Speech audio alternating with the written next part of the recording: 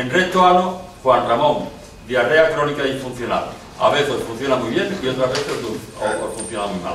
Ya comentábamos cómo en colon ascendente se absorben los hidratos de carbono, según Goy y probablemente llegue Charzón, en el colon transverso las grasas y en el colon descendente las proteínas.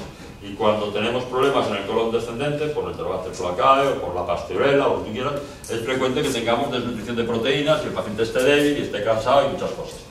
En el colon sigmoides se, se absorben oligoelementos, pocos, y en, en la ampolla rectal lo que se absorbe es agua y se espesan las heces.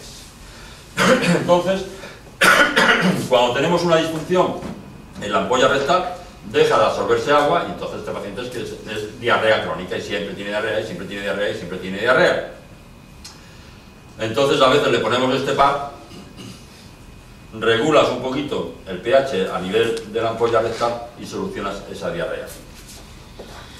Pero estas heces blandas, sueltas, y esa diarrea muchísimas veces es, es expresión nada más de la cantidad de tóxicos que tenemos a nivel de la pared intestinal.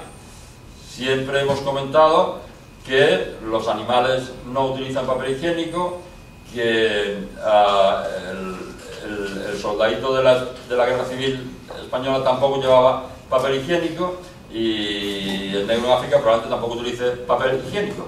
Y sin embargo, cuando, cuanto más procesada es la comida y cuanto más tóxico vamos ingiriendo, más irritado tenemos la pared intestinal y más frecuentemente es que todo lo, que al organismo le sobra lo echa fuera y lo echa con moco y a nivel intestinal con heces blandas y con heces sueltas. Por eso me parece tan interesante de vez en cuando hacerse una limpieza intestinal que yo particularmente la hago con agua de mar.